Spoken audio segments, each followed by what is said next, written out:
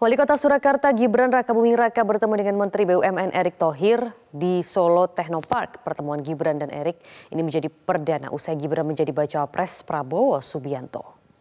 Gibran tampak menunjukkan keakraban dengan Erick di acara Industri Summit 2023 yang digelar di Solo Technopark. Gibran sempat memberikan salam kepada Erick. Pertemuan Gibran dan Erick ini menjadi perdana usai Gibran menjadi bacawa pres Prabowo Subianto. Dalam sambutannya, Erik sempat memuji kesuksesan Gibran menjadi kepala daerah. Hal itu dapat dilihat hasilnya dengan pertemuan ekonomi dan banyaknya event olahraga dan musik di Solo. Sebelumnya, Erik pernah menjadi kandidat kuat bacawa pres Prabowo. Ia bahkan sempat mengurus SKCK untuk mendaftar Pilpres 2024. Namun Prabowo justru memilih Gibran sebagai bacawa pres di detik-detik akhir.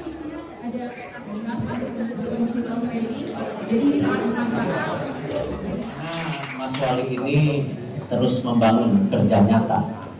Kita bisa lihat pertumbuhan ekonomi yang bagus.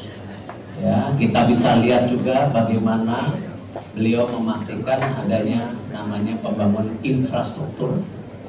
Ya, tetapi tidak kalah pentingnya beliau juga membangun yang namanya manusia SDM yang perlu dibutuhkan untuk masa depan. Jelajahi cara baru mendapatkan informasi. Download Metro TV Extend sekarang.